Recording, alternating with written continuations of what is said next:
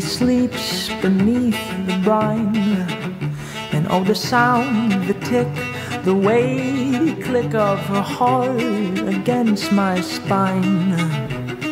Now the dark is nigh, and she lays here at my side. But like a steady squall, her arms they fall and her legs they grasp me tight.